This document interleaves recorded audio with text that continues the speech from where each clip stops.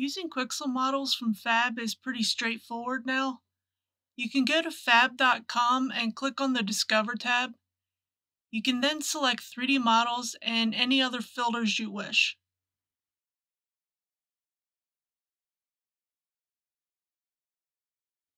You can simply search for Quixel to bring up all the options.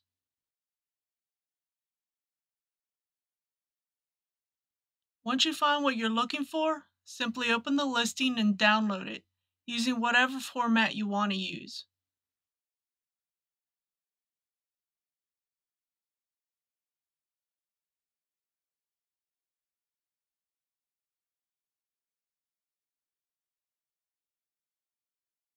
You can also add this model to your library, but you'll need to be logged in.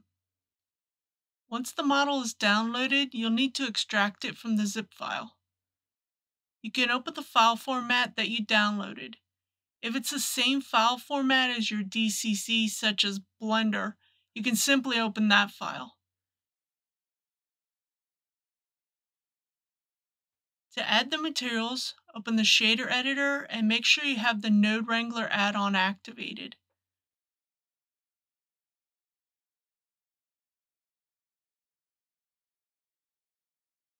Select the principal shader and use Ctrl-Shift-T to bring in the textures.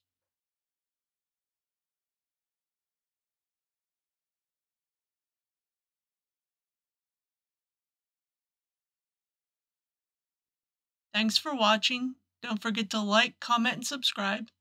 If you enjoyed this video about using Quixel models from Fab in Blender 4.2, you may enjoy this video. Have a good day.